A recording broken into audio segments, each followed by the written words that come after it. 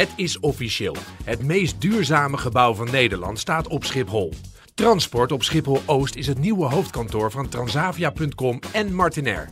Het is het eerste kantoorgebouw in Nederland dat het internationale en prestigieuze duurzaamheidskeurmerk LEED Platinum heeft verkregen.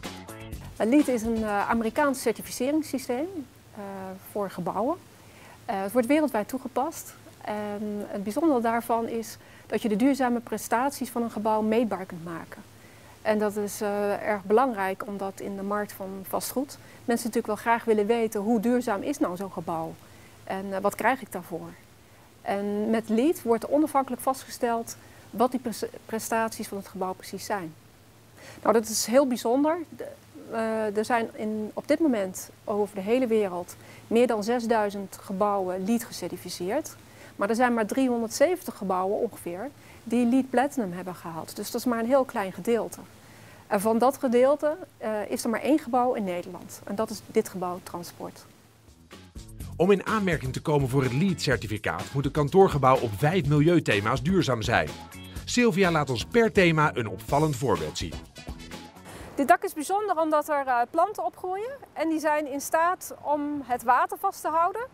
En dat heeft weer als voordeel dat je dat water dus niet af hoeft te voeren naar andere gebieden. Dus dit gebouw lost zijn eigen problemen op en bootst de natuur zoveel mogelijk na. Ja, het leuke in dit gebouw is dat we ook veel gedaan hebben aan waterbesparing. En dat kun je zien, uh, er is hier een uh, waterloos urinoir. Dus wordt niet gespoeld met water, maar het sanitair is zodanig gemaakt dat... Uh, dat het toch allemaal heel erg schoon blijft en uh, niet ruikt. Het is een perfecte oplossing om uh, water te besparen. Aan de dames is ook gedacht. Um, en, uh, wel zo dat regenwater wordt opgevangen op het dak van het gebouw.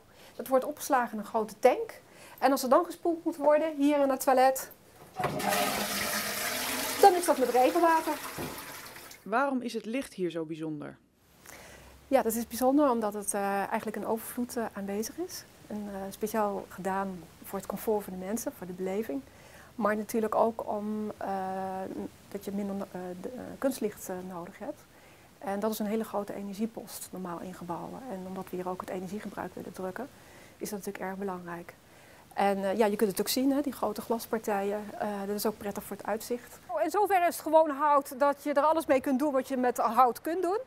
Maar het hout komt uit duurzaam beheerde bossen. Dat wil zeggen dat het met zorg is gekapt en niet met grote aantallen tegelijk.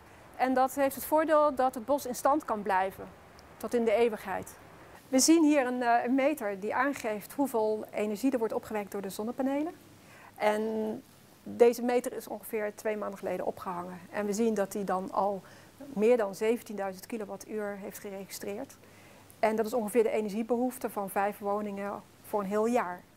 Dus het geeft wel aan uh, hoeveel energie uh, voor het gebouw gebruikt kan worden. Ik ben er meest trots op dat het ons is gelukt om uh, op een groot aantal terreinen bij dit gebouw te bewijzen dat we voldoen aan de hoogste Amerikaanse eisen. Niet alleen Sylvia is trots, maar Schiphol ook. Daarom is besloten om een transport in het klein na te bouwen in Madurodam. De feestelijke opening van Transport Miniatuur is op 24 januari in Madurodam in Den Haag.